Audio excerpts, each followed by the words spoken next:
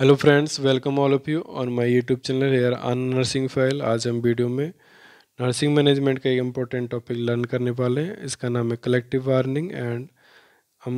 Importance of collective bargaining को भी video में लर्न करेंगे। तो आइए देखते हैं। कलेक्टिव वार्निंग है its importance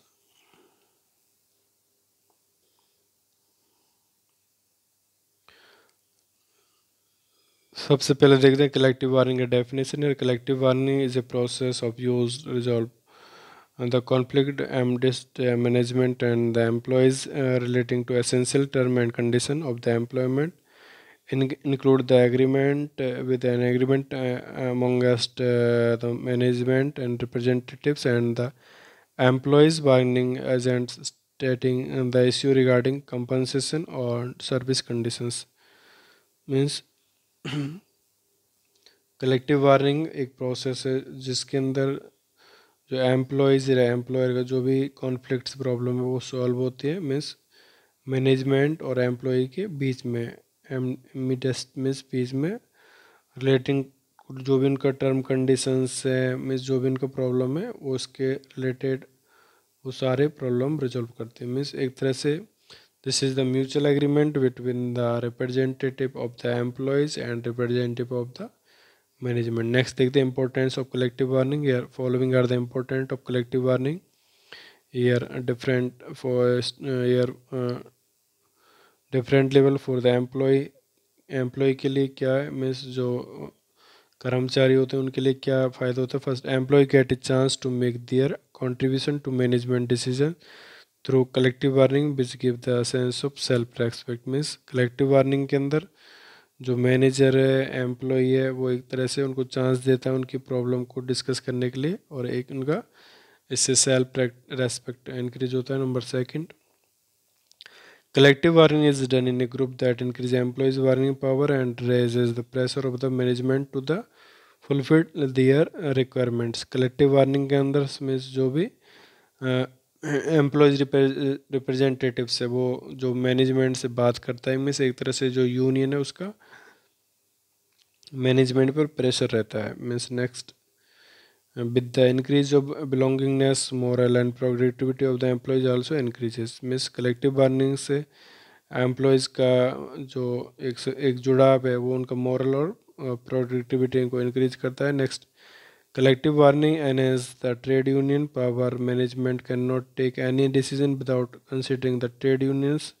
term and conditions and need to negotiate with them. Means collective bargaining में जो भी रिप्रेजेंटेटिव है वो एक यूनियन मीन्स कर्मचारियों का संघ होता है जो एक उनको पावर प्रोवाइड करता है मीन्स सब मिलके मैनेजमेंट के सामने अपनी बातें करते हैं बातें रखते हैं जिससे मैनेजमेंट पर प्रेशर पड़ता है, वो उनकी बातों पे ध्यान देता है। तो ये थे एम्प्लॉयज़ के लिए, आप देखते हैं दूसरा एम्प्लॉयर मीन्स जो भी ऑर्गेनाइजेशन का मालिक है, उसके लिए क्या इम्पोर्टेंस है इसका? Collective bargaining and as the employees productivity which is ultimately beneficial for the employment means collective bargaining से जो भी उनका आपस का कॉन्फ्लिक्ट है प्रॉब्लम है, वो सॉल्व होता है और इससे जो ऑर्गेनाइजेशन का प्रोडक्टिविटी है, वो बढ़ता है और ये सारा फ़ायदा जो भी मालिक है, उसको पहुँचता है। Next it also enhance the employer employee relationship because the continuous discussion means एक तरह से एम्प्लॉयर एंड एम्प्लॉयज़ के बीच में बातचीत से जो भी इनकी प्रॉब्लम है, वो अच्छे ढंग से सॉल्व हो सकती है और उनके रिलेशन भी अच्छे बने रहते हैं। Next collective bargaining help the employer to handle the issue at initial stage because of good relationship with the employees means collective bargaining से में जो भी प्रॉब्लम है उसको रिजॉल्व करते हैं मीन्स उसके इनिशियल स्टेज में। इसमें जो भी प्रॉब्लम है, बड़े नहीं मीन्स जो भी कॉन्फ्लिक्ट है वो जल्दी से रिजॉल्व हो तो एक ये फ़ायदा होता है। Next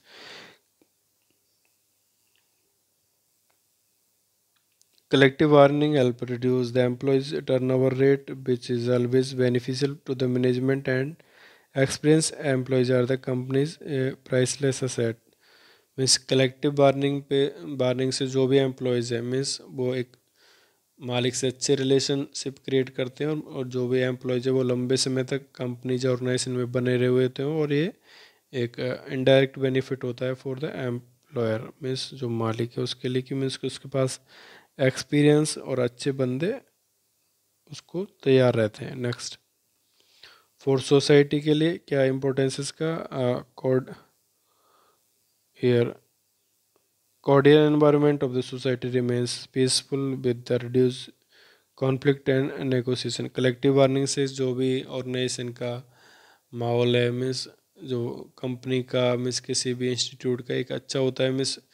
एम्प्लॉयर और एम्प्लॉयज़ आपस में अपनी प्रॉब्लम को सॉल्व करते हैं और वहाँ एक अच्छा रिलेशन और अच्छा इन्वायरमेंट क्रिएट होता है। Next collective bargaining help introducing worker exploitation by the management which is beneficial for a whole society means collective bargaining के अंदर जो वर्कर्स हैं, उनका शोषण नहीं होता। मीन्स वर्कर हैं जो अपनी मैनेजमेंट के सामने सारी बातें रख सकते हैं, अपनी तनख्वाह संबंधित बोनस संबंधित कोई भी प्रॉब्लम इश्यूज़ मीन्स जो भी उनका रिलेटेड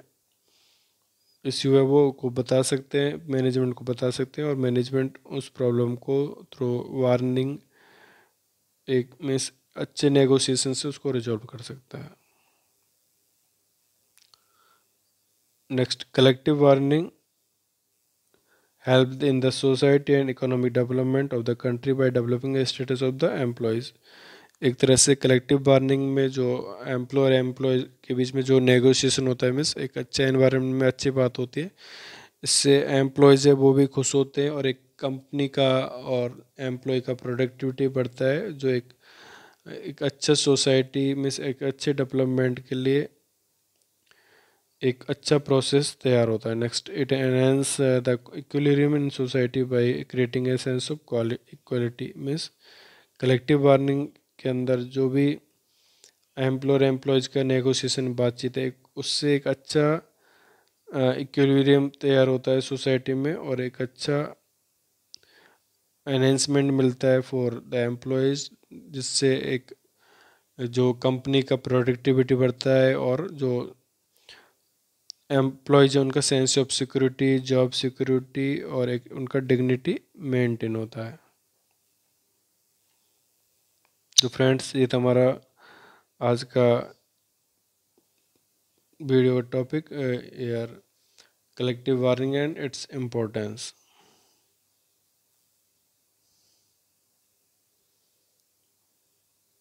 friends आपको वीडियो कैसा लगा? इसके लिए अपने लाइक्स कमेंट ज़रूर भेजिएगा and share this video with your friends इसके साथ साथ हमने कलेक्टिव वार्निंग का definition process features characteristics purpose वाला वीडियो और टाइप्स ऑफ़ कलेक्टिंग वाला वीडियो भी हमारे यूट्यूब चैनल पर डाला हुआ है तो आप नर्सिंग मैनेजमेंट के नोट्स में उनको देख सकते हो रेफ़र कर सकते हो। Friends please subscribe my YouTube channel आना नर्सिंग फ़ाइल एंड प्रेस वेलाइक ऑल्सो थैंक यू